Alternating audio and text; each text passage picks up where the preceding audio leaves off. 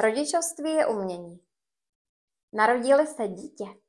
Není automaticky zaručeno, že se jeho rodiče stanou dobrou maminkou nebo tatínkem, kteří své dítě bezpodmínečně milují, přijímají, učí se ze svých chyb, chtějí svému dítěti porozumět a žít v lásce a vzájemném respektu.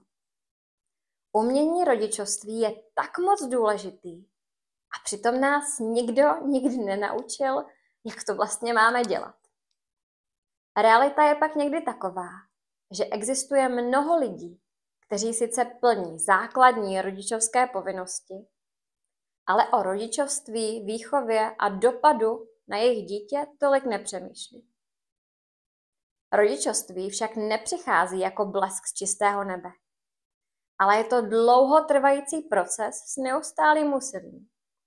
A v rodičovství jde podle mě o víc než jenom o výchovu. Jde o formování budoucích dospělých. Je to náročná zkouška, ale jsem přesvědčená, že to stojí za to. Když plánujeme nebo čekáme miminko, tak některé věci spojené s tím narozeným voňavým miminkem si představujeme často velmi růžově. Těšíme se na toho človíčka a představujeme si, jaké to bude, až tady bude. Třeba až ho budeme chovat, číst mu naše oblíbené pohádky, stavět bunkry z peřin, kopat do balónu, jak si budeme užívat společný čas a jak si budeme skvělí parťáci, až bude větší. Budeme mít rozhodně to nejlepší a nejhodnější dítě a my budeme ti nejlepší rodiče. To bude nádhera. Jasně. Možná, že to nebude vždycky tak růžový, ale to prostě zvládneme. A na dítě? Na dítě rozhodně nebudem křičet, ale v klidu mu všechno vysvětlíme a budem trpěliví.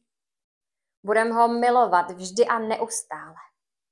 Rozhodně nebudeme stejní jako naši rodiče a nebudeme mu říkat ty hrozný věci, které říkali oni nám a který si pořád pamatujeme. No to vůbec. Takové to poučování, rozkazování, křičení, teatrální pozdychování, kdykoliv jsme dělali něco, co se jim nelíbilo. Ne. My budeme jiní. Budeme prostě super maminky a super tatínkové. Cítíme to v kostech. A pak?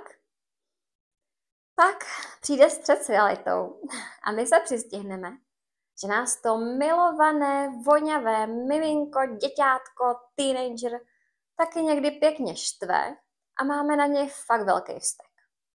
Přijde nám, že nás vůbec neposlouchá a někdy nás totálně ignoruje. Už fakt nevíme, co s ním. Nebo se na nás naštve, je drzí a ještě k tomu odmlouvá, nebo nám lže přímo do očí. A to už teda nedáváme. A dostaneme chuť na něj hrozně zařvat. A třeba i zařveme. A někdy dokonce máme chuť ho popadnout a zatřást s ním, a nebo ho i plácnout. A někdy ho možná i plácneme a řekneme ošklivý věci. A pak? Pak nám to je strašně moc líto. Viníme sami sebe a viníme i dítě. Máme pocit, že jsme to nezvládli. Zase. Vyčítáme si to, jsme naštvaní, zklamaní, vyčerpaní. Cítíme se bezmocně. Zase. Takhle jsme si to přece nepředstavovali. Kde je ta růžová, o které jsme byli na začátku přesvědčeni, že tady bude? Kam se jako poděla? Ano. Možná, že nám ty růžové brýle na chvilku spadly. Možná se někam zatoulaly a nejsou zrovna k nalezení. A vždycky, když už máme dojem, že je zase máme zpátky, tak se opět někam vytratí a my vidíme hodně té černý. Společně přijdeme na to, na jaké místo se to schovávají a naučíme se to mít plně pod kontrolou. Možná ale ještě rodič nejste. A chcete i tak vědět dopředu, jak se na rodičovství co nejlíp připravit.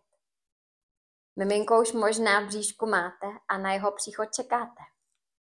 A pokud už jste rodič, tak jsem přesvědčená, že jste svý dítě vychovávali doteď nejlíp, jak jste mohli.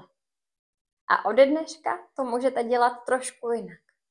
A třeba zjistíte, jak mu můžete být ještě lepší maminkou a tatínkem, můžete mu začít víc rozumět a ono bude rozumět víc vám. A vše bude snadnější, jednodušší a ty růžové brýle se budou ztrácet čím dál tím méně. Takže se vás ptám, chcete vychovávat svoje dítě a nezešílet u toho? Ano, no tak pojďme na to.